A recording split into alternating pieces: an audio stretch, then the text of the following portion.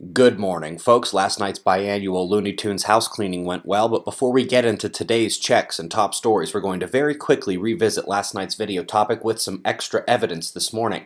So we discussed Azure Arctic Glow and the one that went wrong, the Norway Spiral. Now many people were having trouble imagining how a rocket could make such a sight. Well, let's come to Red's view of the Atlas V launch. He never took his camera off the rocket and saw the whole thing, and the incredible images begin the moment the rocket hits the sunlight. Dark trails become illuminated as the six rocket system is easily seen here. Now this part is simply meant to show you how wild things can appear way up in the sky. Now in the Norway Spiral, we had the central void at main engine cutoff, so let's see that on Atlas V. And then, look at how the spin is set by the second stage creating a bit of a spiral as well. There are actually dozens of spiral shots of rockets that exist. It's just that most of the people taking them have set up to shoot the rocket launches so they don't have any confusion about what is the cause. And all it takes is being slightly out of control, spinning too fast, and you get this. You know, it's fun to explore the thousands of conspiracies and lies and threats you find online. But in the same world where 999 of the 1,000 chemtrail theories must be false by definition, let's remember that the most sensational things that come through are almost always nothing.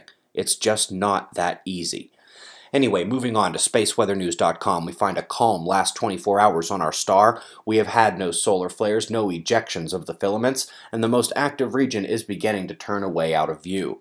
The filaments stretching back towards the eastern limb appear equally as calm as the ones out ahead. We'll continue to monitor for eruptions as always and we expect an intensification of the solar wind tomorrow due to the streaming flow out of that southern coronal hole. The northern system will be up next and is already visible coming in top left.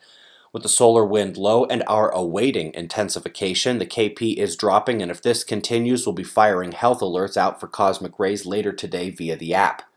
Top story today comes out of Harvard and Oxford.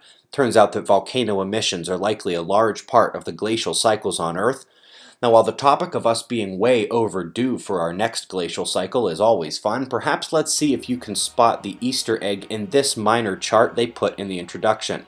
That's a much more fun discussion, and it shows exactly what you think it shows, observers. Temperature shifts, then a consequent CO2 change occurs on Earth. When temperature releases enough CO2 from the ground and the oceans into the atmosphere, it triggers an ice age. Today is the one year anniversary of the 6.6 that struck Italy and marked the most significant earthquake forecast we had ever made. That's the map from the day before. Learn more at quakewatch.net.